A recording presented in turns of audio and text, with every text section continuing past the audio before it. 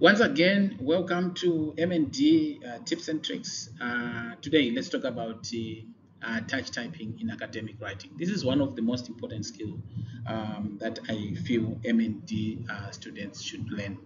Uh, don't underestimate this skill. It's one of the most important skills uh, that can make your life easy as a student.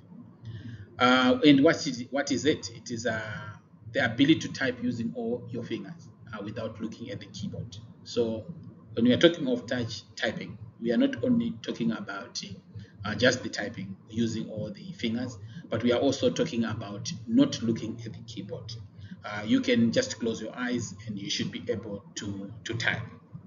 And this is actually uh, one of the uh, most important skill, valuable skill uh, for students because it enables you to uh, to produce or to write and edit your text or your drafts much faster than, than usual.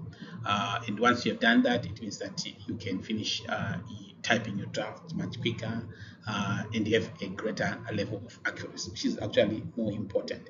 We don't want to have a, a draft that is full of uh, errors, full of uh, grammatical errors, mistakes, uh, spellings, and all other stuff. don't forget that most of you guys you are also studying on part-time and the time is uh, is, is actually an, an expensive commodity on your side. So if you can type quicker uh, then it means that you have got enough time to be uh, or to attend to other things or to be with the with the family okay this is one of the stats that has been done that uh, someone typing uh, 20 words uh, with two fingers. And in most cases people that are using two fingers to type they they don't exceed uh, 30 words a minute. Most of them is just less.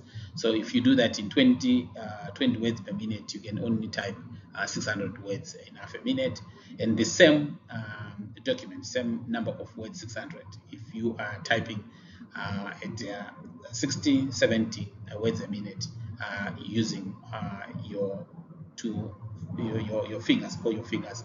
You can do that in less than 10 minutes. So it means that you would have saved about 20 minutes uh, approximately which is actually 60% of your time. So imagine every time when you sit down to do your work you save 60 time of your of or 60% of the time. So that's actually interesting and these are some of the benefits of of typing you save time this is number one you need time we don't have time second better for your overall health. Oh, this is actually uh, one of the problems that most doctoral students they face is the backache. Uh, if you because they spend most of the time sitting in the chair, most of the time they are, are reading. So if you know, if you learn uh, the typing uh, or touch typing, and, you master it, the, the, the chances that you you will have less of the sitting because you're typing and also it also train you or it promotes good uh, sitting posture uh, which is actually going to help you to prevent the neck and the back strains. Then yes it also decreases the fatigue. Imagine you are trying to think on on which key to touch. At the same time you are trying to think uh, critically or you are trying to to come out with an argument then it means at the end of the day your brain is working both sides. We don't want your brain to be working yeah.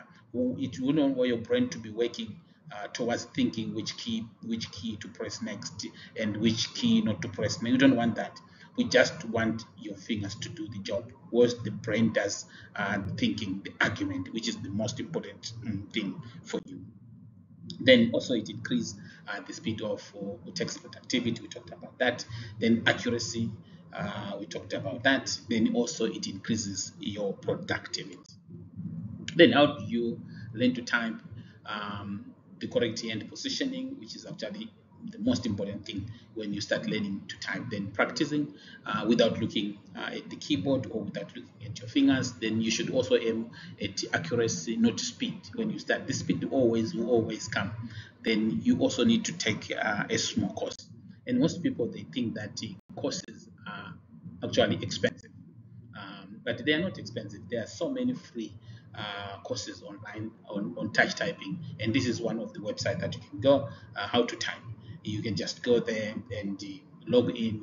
You start typing. And this one gives you access to all its features. So it's one of the good um, uh, website for you to to spend most of your time on.